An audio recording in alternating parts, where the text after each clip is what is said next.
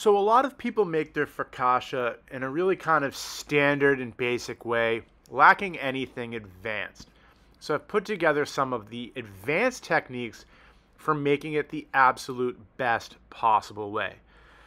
And that's having a sourdough starter, a double hydration method, a pre-ferment, a layered dough, obviously high quality ingredients, a resting period, post-bake oil brush, steam for the crust, flavor combination, salt and herb brine, infused olive oil, baking steel or stone for what you cook it on, a second cold proof, a dimpling technique, olive oil emulsification, you stretch, fold technique, autolyse, and again, cold fermentation and high hydration. So let's start with that. You want to aim for a hydration level of around 75 or 80%. The benefit, of course, being a lighter, more airy crumb with large open holes.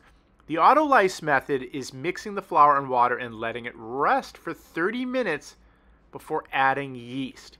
That improves your gluten development.